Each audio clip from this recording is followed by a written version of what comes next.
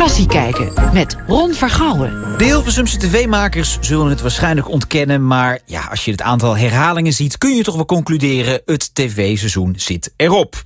Ja, en het was een seizoen met beelden die we niet snel zullen vergeten. De tv-makers al helemaal niet, want het wereldnieuws kwam nu wel heel erg dichtbij.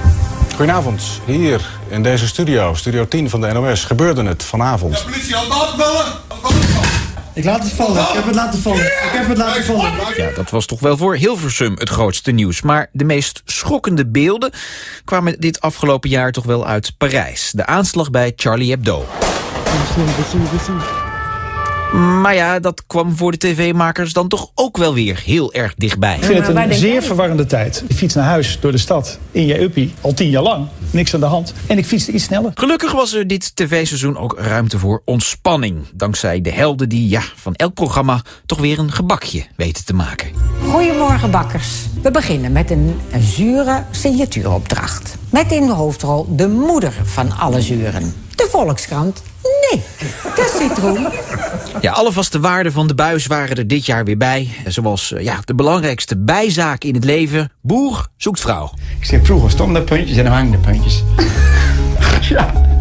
Nou, dat dat is toch zo? Maar hier en daar is er toch nog wel sprake van innovatie bij de televisie. Met name de distributie ervan. In navolging van Netflix kwam nu ook Nederland met de allereerste tv-serie die enkel on-demand via internet te zien is. Genaamd Zwarte Tulp. Je hebt geen verstand van tulpen. Stikken. Gaat nou weer over die tulp? Ja, wat wil je dan? Vraag, doe het hier nu! Ja, nog best een hele aardige serie ook, maar nog niet helemaal opgemerkt door het grote publiek. Sowieso dit seizoen heel veel mooi drama, Hollands Hoop, Bagels en Bubbles en Nieuwe Buren. Maar het prijzengeld ging dit jaar naar andere titels. Gouden televisiering 2014. Flikken Maastricht. International Emmy, Bianca Kreisman in The New World. Hello, I'm Bianca from Holland. Yeah. Oh. Vanmiddag werd in Hilversum de zilveren Nipkoff-schijf uitgereikt. Grote winnaar is Thomas Erdbrink met de serie Onze Man in Teheran. Ja, ik was absoluut geëmotioneerd. Dan de publieke late-night talkshows. Die leken met uh, Pauw en Witteman en Knevel van de Brink... een jaar geleden volledig afgeschreven... maar maakte dit jaar toch wel een aardige comeback. Jeroen Pauw maakte een hele mooie doorstart...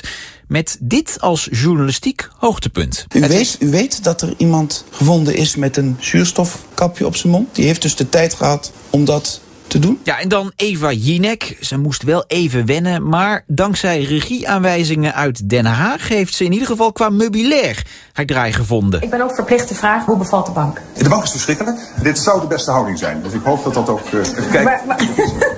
Ik hoop dat het ook Moet hij blijven? Nee, hij moet echt weg. En talkshowkoning Matthijs van Nieuwkerk blijkt na tien jaar DWDD... juist op zijn leukst als hij het zelf ook allemaal even niet meer weet. Aan tafel? Aan tafel. Aan tafel!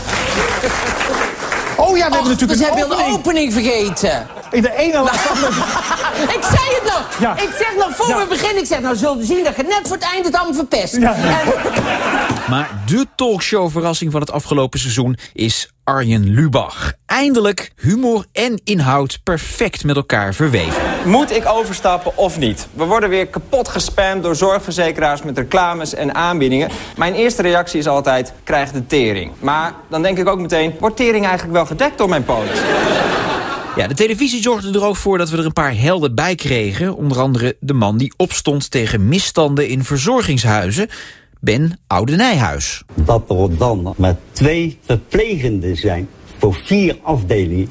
Ik vind het schandalig. Ja, helaas overleed hij kort na dit memorabele optreden. En hij was niet de enige van wie we afscheid moesten nemen... want de camera was dit tv-seizoen meer dan ooit... een vorm van BN'er stervensbegeleiding. Ik vind het een beetje cynisch eigenlijk dat wij als journalisten de mogelijkheid hebben om hierover te schrijven, om over te filmen. Terwijl ik ben ook eindredacteur bij Eén Vandaag. En dan krijg je dit soort verhalen natuurlijk ook wel eens op je bord. En die veeg je van tafel met het idee, ja, het is eigenlijk te klein. Na ons interview ben ik terechtgekomen in een, nou, het bekende Nederlanderschap eigenlijk. Ik wil je bedanken, Thee. We zijn afgelopen weekend ook naar Texel geweest hoor. Dus ik heb heus wel een bucketlist hoor. Ja, Mark Bos, Telau en René Gude waren dat. En natuurlijk waren er ook programma's waar we het komend seizoen absoluut niet meer aan herinnerd willen worden. Een huwelijk op de rand van de afgrond. Een heel klein kindje. Dit wil ik echt nooit meer zien. Zo zijn we niet getrouwd. Bij de EO op NPO 1. Nieuw bij RTL 5. Celebrity Pole Dancing. Blaren, blaren, blaren. Zit jij in geldnood en heb je acuut een bedrag tot 10.000 euro nodig? Meld je dan nu aan voor Geld maakt gelukkig. Ja, toch was er het afgelopen jaar heel veel moois op de buis. Al is het met al die verschillende kanalen natuurlijk nu moeilijker om al die kwaliteit te vinden. Maar als ik één tip mag geven, op de Facebookpagina van de perstribune... is mijn persoonlijke top 10 hoogte- en dieptepunten van het afgelopen jaar te vinden. Nou, deze tv-recensent zet de komende weken het televisietoestel even uit... maar uh, Kassie kijken blijft de hele zomer. In Kassie terugkijken ga ik in op de rijke tv-historie.